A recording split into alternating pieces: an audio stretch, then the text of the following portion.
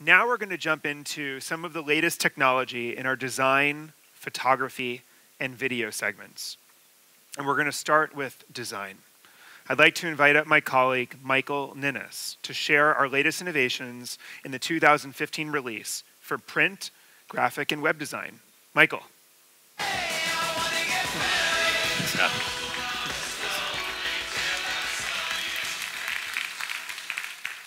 Thank you, Scott.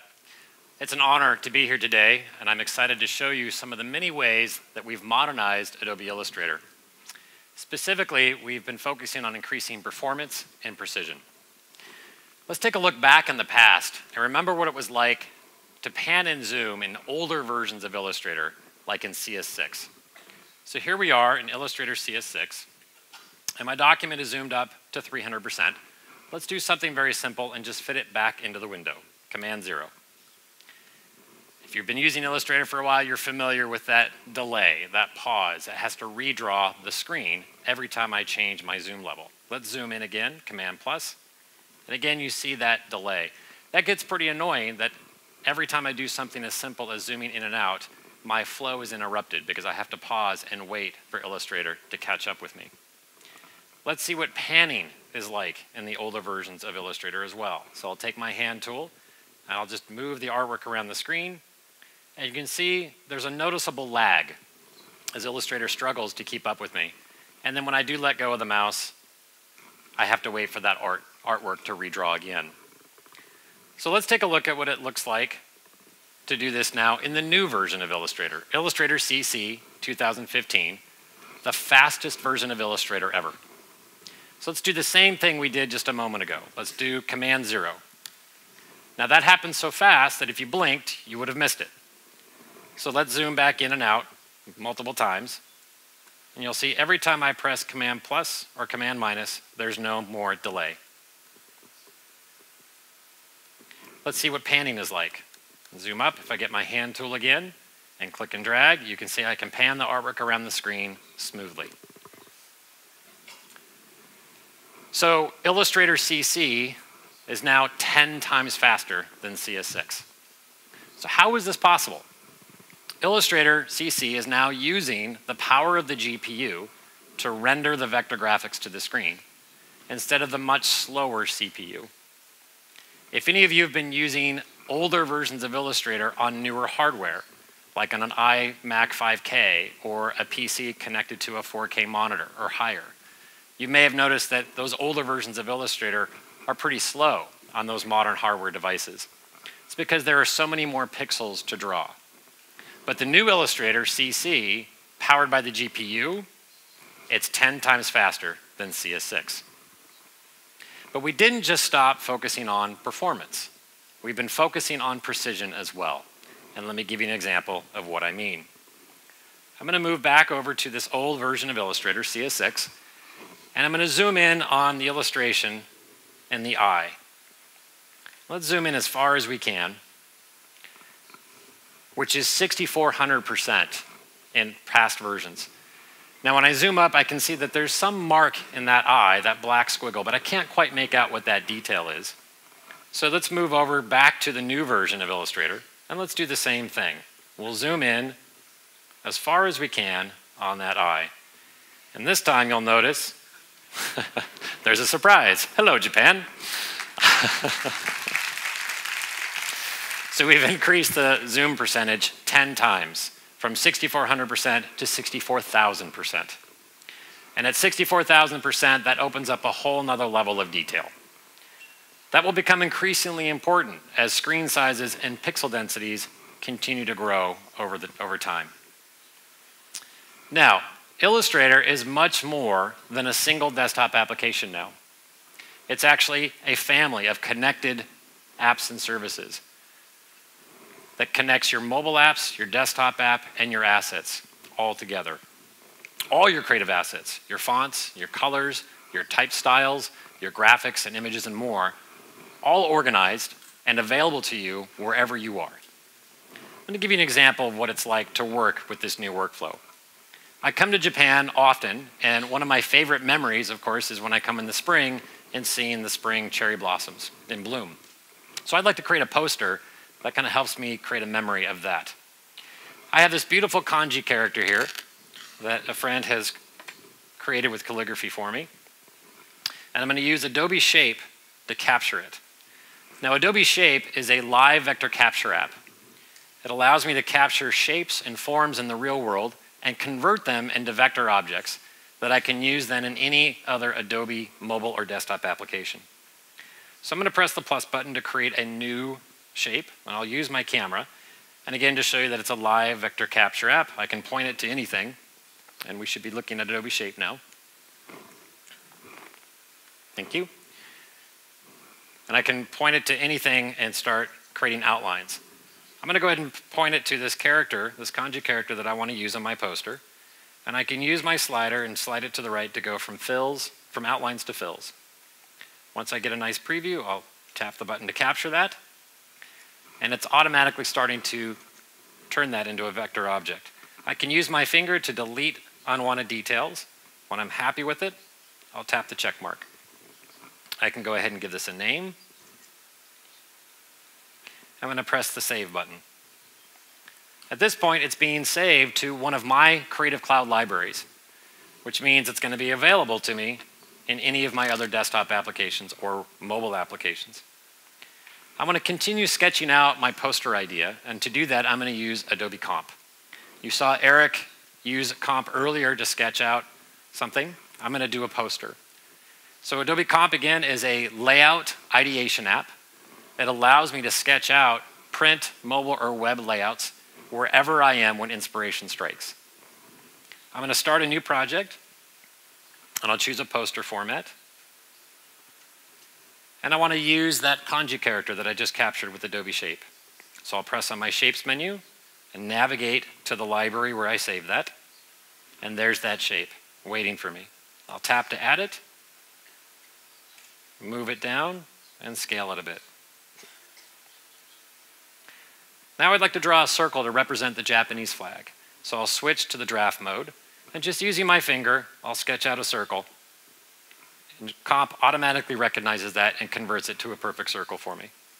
I can tap on it to reposition it, and of course edit it and change its color to red.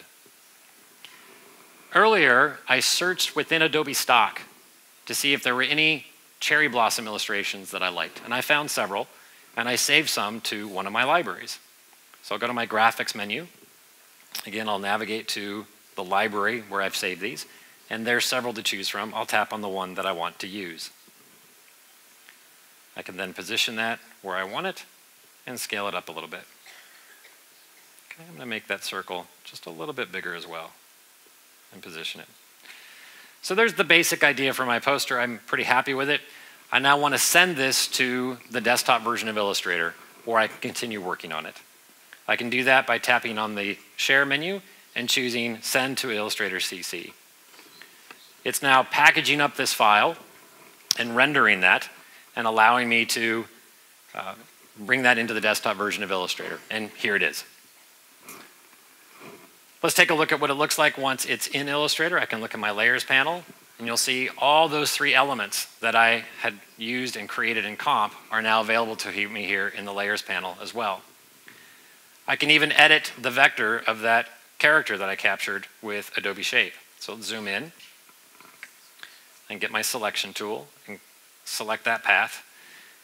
And if I want to just edit it slightly, just to show that it is something that can be edited after the fact, just do a little slight tweak there.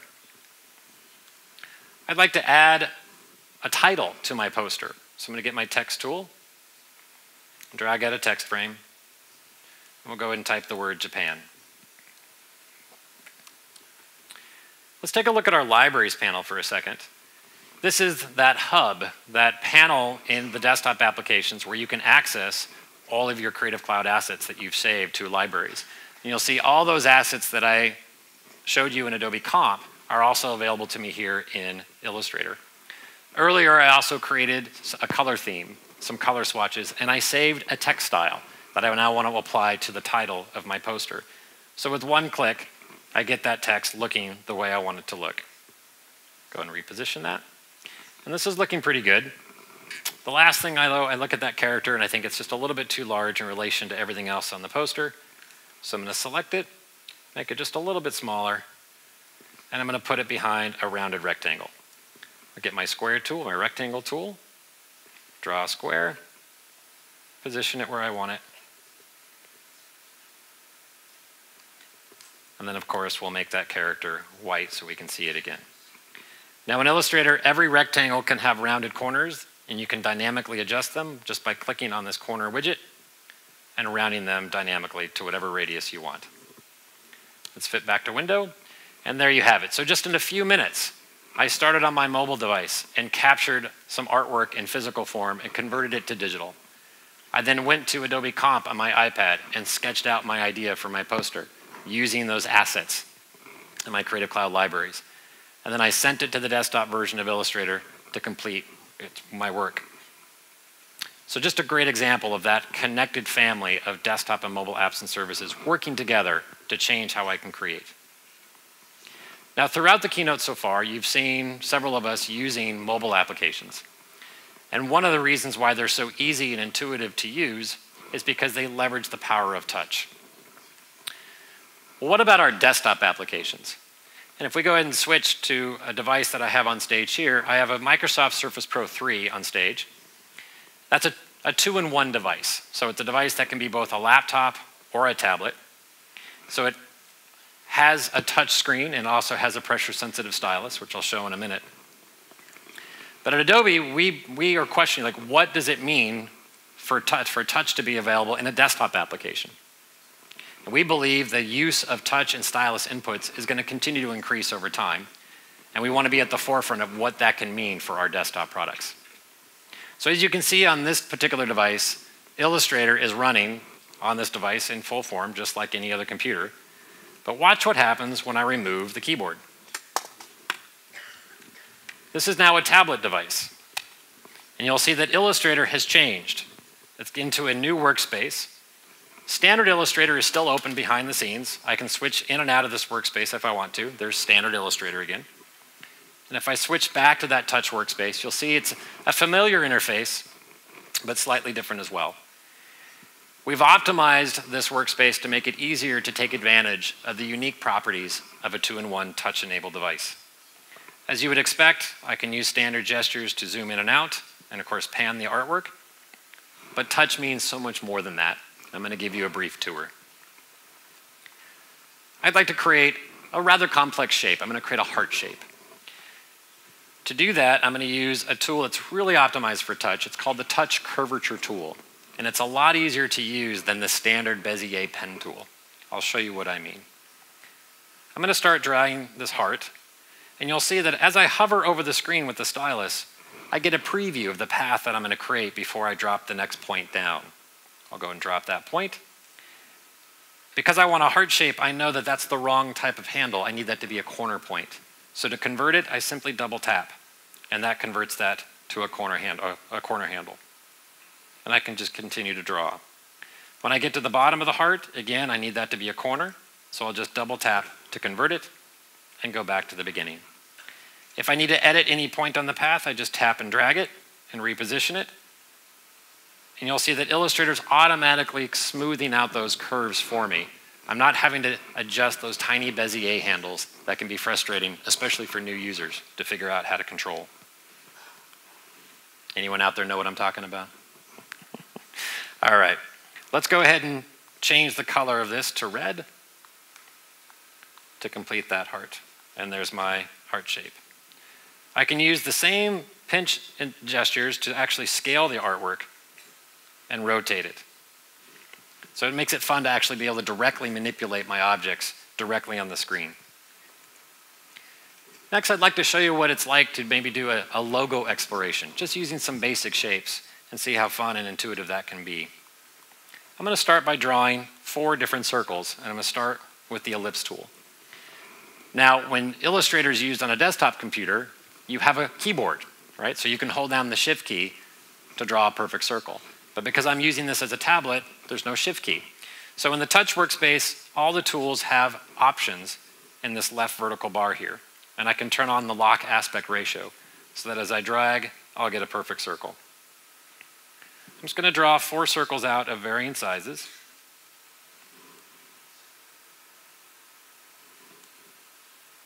And then I'll add a few straight line segments. I'm going to use the pencil tool and just drag out a couple diagonal lines and a straight vertical line. There's the objects I want to use. They're all selected. Now I want to align their horizontal and vertical centers. Let's take a look at the touch version of the align panel.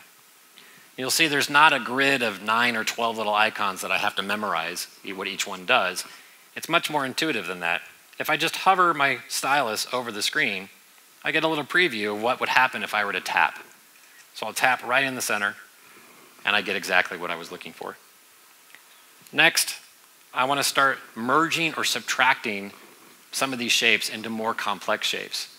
If any of you have used the Pathfinder operations in Illustrator, we've taken those operations and we've put them in a tool called Shape Builder. And then I can use my stylus to merge and subtract directly just by dragging on the screen. To do that, I'm going to switch to a different color. And simply drag through the objects that I want to combine. I can switch colors and just work through the object, exploring as I want. Now there's some shapes that I don't want in this logo anymore, so I'm going to switch to the subtract mode and simply drag through the objects that I want to remove. If I want to get rid of those extra lines, I can just drag through them and delete them with ease. Let's get rid of the stroke. And there's my finished logo. So in just a few seconds, starting with some basic shapes, aligning them, and then using the Shape Builder tool to work and change them. Next, let's get a little taste of the pressure sensitive stylus and what it's like to draw directly on the screen.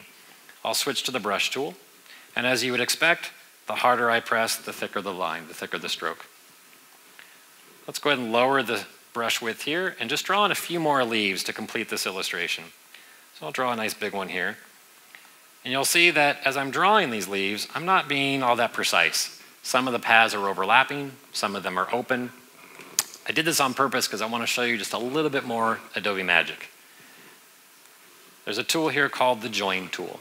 And with the Join tool, I can simply drag over the paths and it automatically heals them and corrects and joins them the way they need to be joined. Go ahead and select those, get rid of the stroke, change the fill, and then to finish this off, let's go ahead and draw in those center lines. So that's just a small taste of what it's like to use Illustrator on a touch-enabled device. So you've seen that Illustrator now is a connected family of mobile apps, desktop apps, and services. I'd like to show a video that shows how a designer is using that family of connected apps and services to fundamentally change how he creates. Let's take a look.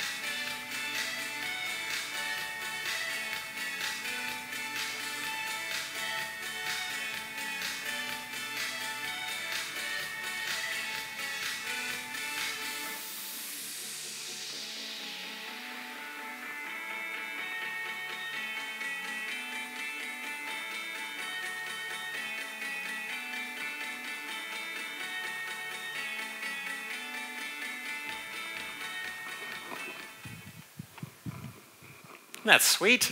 Love that.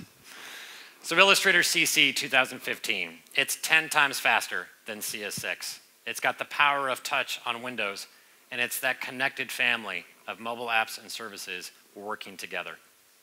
But of course, Illustrator is not the only Adobe application that designers use. There's of course Photoshop. So I'd like to invite my colleague Zorana Gee to the stage, who's going to give us a tour of some of the many things that the Photoshop team has done to do to make Photoshop an even better tool for designers. Zorana?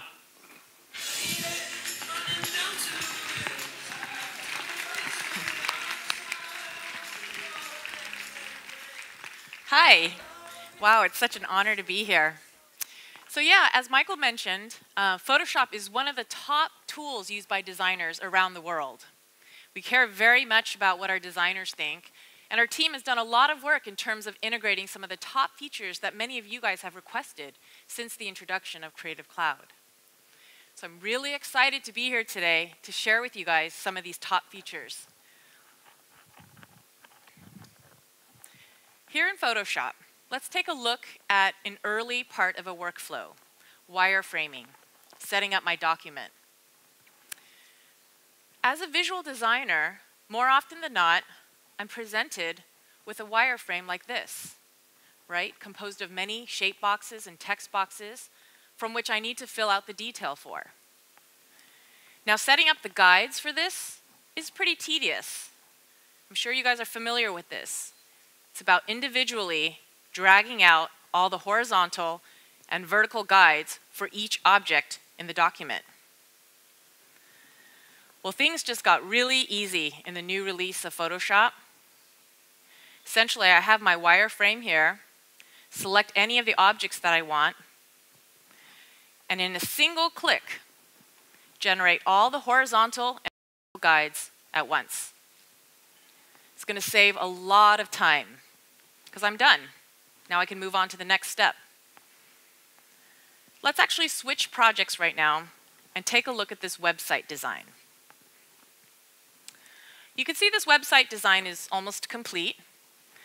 In the upper left-hand corner, it's missing the final logo, has still placeholder content. In fact, it's my colleague in Japan that's responsible for this logo. So in the past, I have to leave the application, maybe pick up the phone, give them a call, check a server, or check my email to see if there's any updated content. Pretty cumbersome. Well, now in the new release of Photoshop, I'm really excited to say that thanks to Creative Sync and Creative Cloud libraries, we have linked smart objects. This enables me to maintain all my assets that are linked across all my documents and my entire team all within the application. So here in my layers panel, you can see there's a small indication telling me that the file is out of sync, very similar to smart objects. Let's reveal that in the library and see if there's updated content. And sure enough here, you see, there's the final logo. Now it's just simply a matter of right-clicking and saying update modified content and I have the, the most modified content, the most up-to-date content. All within the application. Any changes that are made to this asset further down the line, I can receive those updates instantaneously inside my application. And this is all due to linked assets leveraging Creative Sync. So this website design is complete now. I'm at the point where I maybe want to create a mobile version of this. You guys are probably all pretty familiar with this process. Essentially, it's separate PSDs for each iteration, each device, each resolution, landscape, portrait. This can be really cumbersome, right? I'm sometimes dealing with 5, 10, sometimes even 15, 20 PSDs at once. And when I want to see the experience and the flow across the entire design, across all my devices, it gets really cumbersome because I'm strategically laying out the files in my application so that I can position it the, for what I want to try to communicate. I'm really excited to say that in the new release of Photoshop, something that has been a top request from our customers, Photoshop now has artboards. Artboards are amazing. They are on an infinite canvas and you can move your artboards around freely to any position for how you want to communicate your design. Whether you're talking about multiple pages of a responsive web design, or you're talking about multiple devices, like in this case.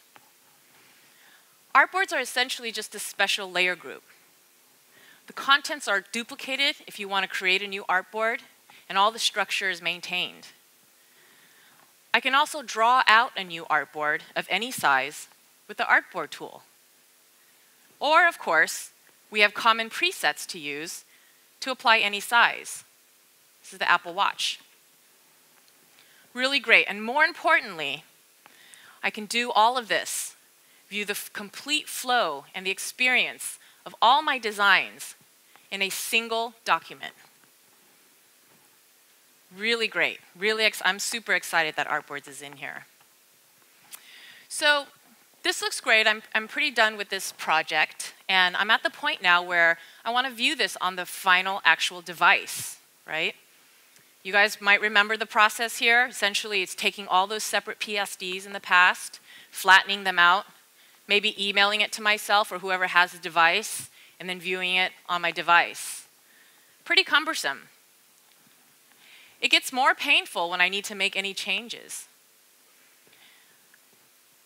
Right? We have to repeat this process. So now in the new release of Photoshop, we have, we're introducing a free companion app called Preview CC, which enables live mirroring of all my artboard designs on my devices. So you can see in this document, I have several different devices. I have my iPhone 6 Plus. I have several different pages of my iPhone, iPhone 6. I have my iPad designs. Now I want to view it on the actual device. Well, thanks to Preview CC, I can. Let's jump over to my phone and see what this experience is like.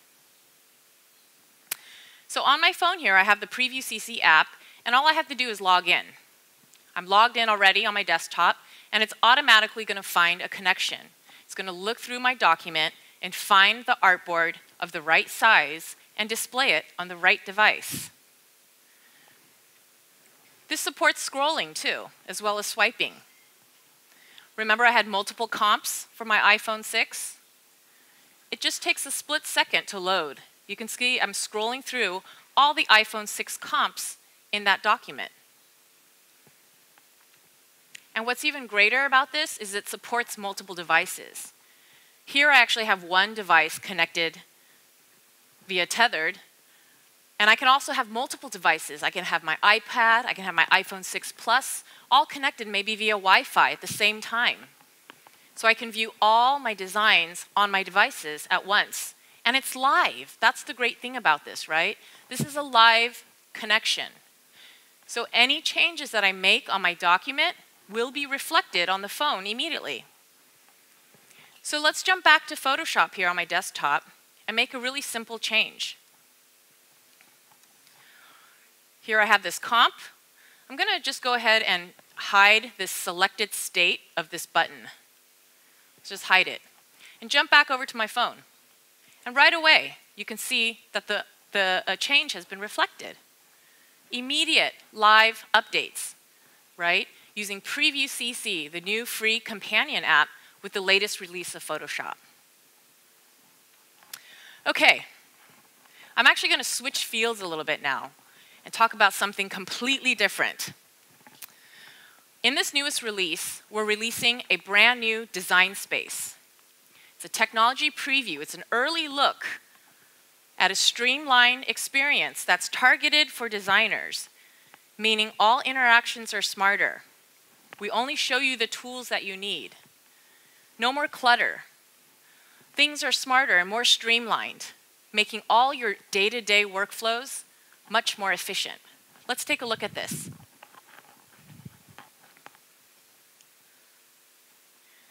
So here we're in Photoshop, and I just need to jump into the new Design Space preview.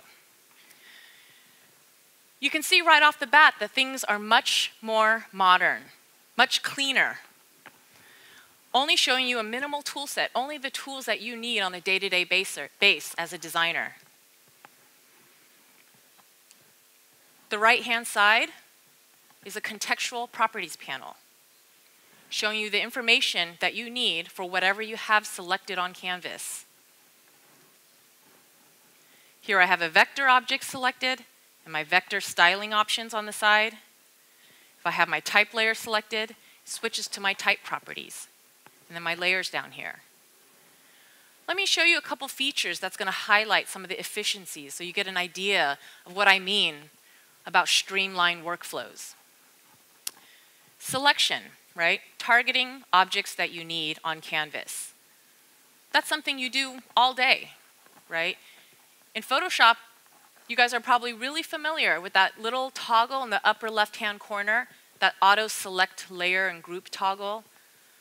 I'm there thousands times a day that preferences, constantly changing that depending on whether I want to select a layer or a group. And I can't even select a nested group on Canvas. I have to move between the toggle, back to the layers panel, back to my canvas, back to my layers panel to see if I have the right thing selected. We wanted to make this drop dead easy in design space. Let's open up my, my layers panel so you can see what I'm talking about. Say I wanted to select this group, the pill bottle group. I'll click once here, and you see I have the artboard, the top level group selected. Directly on Canvas, I double click. Now you can see I'm digging into that group. I've selected the next level group. Double clicking again, now I have that pill bottle group selected.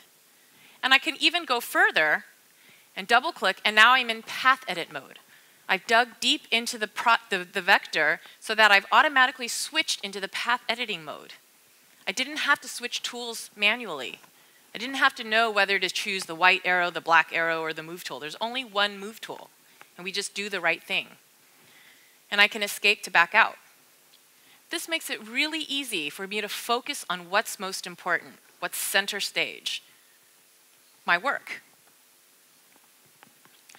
Let me show you another example, a simple styling example, so you can understand more of some of the efficiencies that we're introducing. Let's go ahead and open up my styling option. So I just want to create a few buttons here. Three buttons across the top. It's the same color as the background right now, so you can't see it. Let's go to my fill properties. Changing the color, you can see I can enter it in direct CSS values. Or I can enter in the hex code for light gray. Further, let's add a quick one pixel stroke. I can also use CSS define colors, the word, to describe the color. Let's just call this gray. You can see here at that stroke. Now let me finish up this styling exercise. Duplicate the buttons across the top. Now I'm going to select all three. Now let's go and align this. I don't have to open up any panels. All the important information that I need for alignment and sizing is in the same location all the time. I'll go ahead and horizontally and vertically center this. Width. I want the width of this to be 280 pixels. Entering 280, we do the right thing. Each button is 280 pixels, as opposed to the total of all three selected. The height. For this project, I want these buttons to be exactly one-third the distance of this header. And this header is in fact 240 pixels, I don't have to do the math anymore because all numeric fields support math operators. 240 divided by 3, making it super easy for me to be precise. Let's go ahead and add a radius.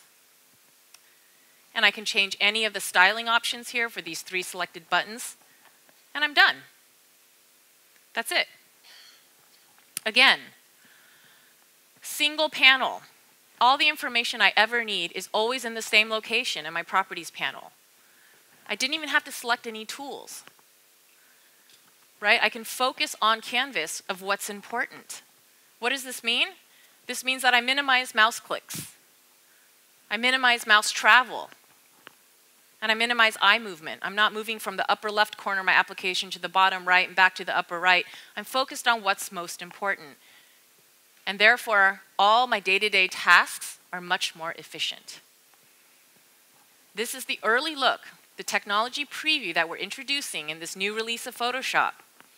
Released early so that you guys can give us feedback and help us shape it to become what you need. So you can see we've been doing a ton of work for our designers, right? Starting with some of the mobile to desktop workflows that you saw both Eric and Michael show us, as well as artboards. Artboards are now in Photoshop. This is huge. Linked assets using libraries and Creative Sync, a free companion app called Preview CC that enables live mirroring of all my artboard designs, and even this early look, this technology preview of Design Space, released early so that you guys can give us feedback. These are all the top requested features that our designers have, and we have a lot more, all in the newest release of Photoshop. So now I'd like to introduce my colleague Keisuke up to the stage to talk about some of the web innovations we have for our designers. Thank you.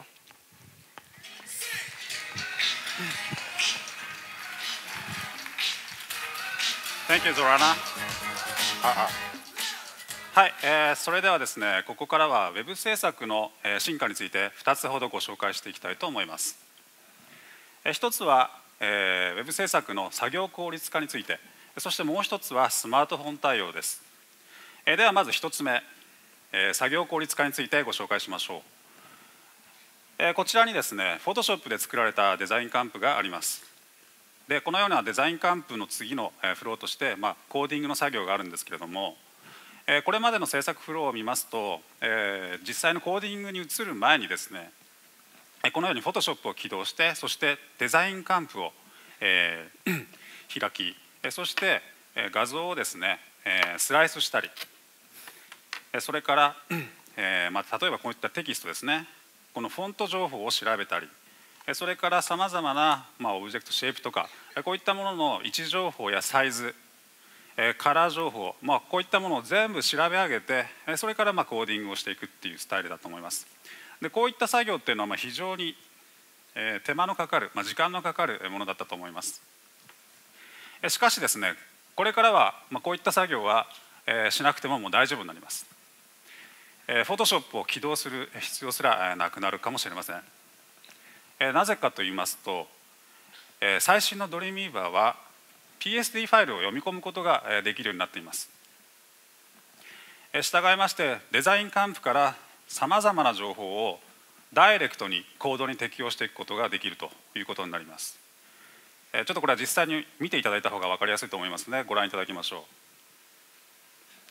こちらがドリームウィーバー CC2015 年リリースの画面になります。ではまず HTML ファイルをちょっと開いてみましょう。現在制作中のものがあります。そして、えー、クリエイティブクラウドに保存されている先ほどの、えー、デザインカンプを今開きました。ドリームウィーバーの中に左側に、えー、PSD のデザインカンプがあってそして右側に編集したいコードが存在しているという状況です。では実際に、えー、コードにどんどんデザインを適用していこうかと思います。でまず手始めにそうですねこの黒いバ、えー、っとグラデーションのかかった背景こちらをコードに適用してみましょう。実際にコードを適用したいところに移動してそしてデザインカンプの、グラデーションの部分を選択します。たったこれだけでですね CSS のグラデーションを表現するためのコードというのを、まあ、コードヒントからこのように選んで選択して適用することができます。ベンダープリフィックス付きの CSS ですね。こちらが適用されました。ではテキストもやってみましょう。こちらデザインカンプのテキストから持っていきたいコードに持っていきたいフォント情報を CSS をコピーとボタンを押してそして実際に適用したいこちらですね、えー、部分にスタイルをペーストとして、はい、操作してあげます。えそうするとデザインカンプのフォント情報もあっという間にコードに CSS で適用することができました。ではもう一つだけやってみましょう。え今度は画像です。え画像というのはまあ PSD ファイルからまあスライスをして書き出したりとかする必要がありましたけれどもえこちらはですねもっと簡単にできます。デザインカンプで実際に配置したい画像を選択してこれをドラッグしてですねコードに持ってきます。で実際にまあ置きたい場所にたどり着いたらまあ手を離してドロップしてあげると。でデフォルトで PNG ファイルなんですけれどもこれをまあ自分の好きなフォーマットに変えてあげましょう。今回 JPEG にしたいと思います。そうするとクリエイティブクラウドからローカルにファイルが保存されてそしてコードにちゃんと配置されたという状態になりますご覧のようにですね最新のドリームィーバーを使うとデザインカンプからコードに、えデザインをいろいろ適用していくっていう作業が、まあ、圧倒的に速くなるんじゃないかなと思いますので、えぜひこちら活用していただきたいなと思います。えそれではここで、え2つ目の進化スマートフォン対応についてご紹介したいと思います。えまあ、昨今ですねあのウェブ制作においてスマートフォン対応というのも非常に重要になってきてるっていうのはもう皆さんご存知の通りかもしれませんけれども、えその中で、まあ、画面幅に応じてさまざまに動的にレイアウトが変更して変化するっていうレスポンシブデザインというのが、まあ、多く採用されているのかなと思います。しかしこのレスポンシブデザインを制作するにあたって、えー まあ、最適な、えー、ブレイクポイントの見極めですとかそれから、まあ、レイアウトの調整とかまあ、いろんななんですなんて言いますかあの手間のかかる作業っていうものがやはり発生すると思います。えそこでですねドリームウィーバー CC2015 年リリースでは、えー、レスポンシブデザインを、えー、よりやりやすくするための大幅な機能強化をしています。えー、では実際に、えー、見ていきたいと思います。えー、まず新規作成で HTML ファイルを選択した場合フレームワークのところにブートストラップが選べるようになりました。このオープンソースの CSS フレームワークブートストラップを使えばですねレスポンシブ対応したウェブページというのを比較的簡単に作れるという特徴がありますここからスタートしていくのもよろしいですしもう一つスターターテンプレートというものを用意しましたブートストラップを使ったテンプレートを何パターンか用意してありますのでまあこれらをベースにスタートしていくこともできます。では実際にポートフォリオのテンプレートを、え使った状態で、え機能を紹介したいと思います、えこちらブートストラップのポートフォリオの、えテンプレートです。すべてブートストラップコンポーネントが貼り付けられたテンプレートになっています。ですのでもうすでにレスポンシブ対応になっていますね。そしてですねえ上を確あのこの画面上部をご覧いただきたいんですけれどもこれ、えー、ブレイクポイントを可視化するための新しいツールビジュアルメディアクエリーバーです。そしてこれ右側にですね新たにリサイズバーが追加されましたのでパソコンの画面幅そしてタブレットの画面幅そしてスマートフォンの画面幅とこういったようにですね自由に画面画面幅を 画面幅を変えてそしてレスポンシブデザインの生命線でもあるブレイクポイントを実際に目で見ながら確認して作業を進めていけるというのが大きな特徴です。では実際に先ほどあのご覧いただきましたデザインカンプを少し適用した、えー、ページがありますのでこちらを見ながら別のレスポンシブデザインの機能もご紹介したいと思います。ご覧のようにですね大きなメイン画像が、えー、乗っかっていてそしてスクロールしていきますと2カラムのレイアウトがありそして最後フッターがありますね。でパソコンの画面幅タブレットそしてスマートフォンとこのようにまあ見ていくともうすでにレスポンシブ対応していますので少しレイアウトが変わっているのが分かるかもしれません。そこでここでもう少し手を加えてみたいと思います。スマートフォンを縦に表示した時のレイアウトをちょっと変えたいなと思った時にはやはりブレイクポイントを新たに打つ必要があると思うんですけれどもこのブレイクポイントを打つ作業も非常に簡単にできます。このようにマウス操作で簡単にできますし微調整も数値入力で可能です。このようにブレイクポイントを追加しましたら次はちょっとレイアウトを変えてみましょう。えー、こちらの画像メイン画像スマートフォンの縦表示の時はまあ隠しておいてもいいかなというふうになった時はですねマウス操作でエレメントを隠すとやってあげれば簡単に隠せます。そしてもう少し見ていくとあここ2カラムのままですね。これちょっと狭い幅で2カラムは窮屈なのでこちら1カラムにしてあげましょう、えご覧のようにグイッとマウスを使ってですね広げてあげれば2カラムだったものが1カラムになりました。ではちょっと見てみましょう。はい、えー、画面幅が広い時は時は2カラムのままですね。そしてメイン画像もちゃんとあります。でえ画面幅を少しずつ狭めてみましょう。タブレットの状態ですとかそしてスマートフォンの縦の時。はい。ちゃんと消えてるのが分かりますね。そして2カラムになったものが1カラムになってるのが分かると思います。で、えーまあ、ある程度制作を進めていくと次に非常に大事なのが、えー、ブラウザーで確認するという作業だと思います。まあ、こういったブラウザでのプレビューというものがま重要なんですけれどもちょっと面倒くさいっちゃ面倒くさいですね。サーバーにいろいろデータをアップロードしてそしてスマートフォンでアクセスするなりする必要があるんですけれどもこの作業を非常に簡単にするための新機能が追加されています。それがですね画面右下にあるんですけれどもデバイスプレビューという新機能です。これを使うとですね非常に簡単にスマートフォンで確認することができます、ですので今からあのこの iPhone を使ってですね実際に今編集中のウェブページにアクセスしてどんな感じになっているか確認したいと思います。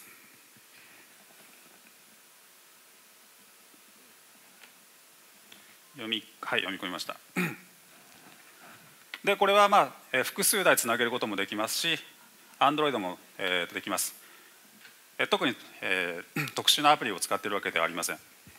でご覧のようにですね、意図した通り表示されているのが分かりました。でこれ単にプレビューが楽になったっていうだけじゃなくてですね、実はリアルタイムで 変更を確認することができます。例えば今ここに「Keep on Playing」って書いてありますけれどもこれ僕今からですねちょっと変更してみましょう。今「Keep on Playing」のところを「Keep on Singing」とやってみましょう、はい、そうすると iPhone の画面の、え表示も変わったのが分かると思います。このようにですねプレビュー機能も、まあ、ライブライブでできてしまうっていう非常に効率的な作業が作業フローが確立できるんじゃないかと思います。はい、というわけでですね、えー、Dreamweaver CC2015 年リリースを使いますとデザインカンプからコードへの作業っていうのはまあ圧倒的に速くなるんじゃないかなと思いますしそれからレスポンシブデザインというのはもっともっと、えー、制作しやすくなるかなというのを期待しています。そして何よりもリアルタイムなデバイスプレビュー機能を使ってどんどんどんどんですね細かい レイアウトのチェックなどをして、えー、全体的な作業効率をアップしていただければ、えー、嬉しいなと思います、えー、ぜひドリームウィーバー、えー、お試しくださいありがとうございました Thank you, Keisuke. So, as you can see, the 2015 release ushers in a new level of precision and performance in the design segment. Mobile and desktop apps work seamlessly, and Creative Sync makes your assets more organized and accessible.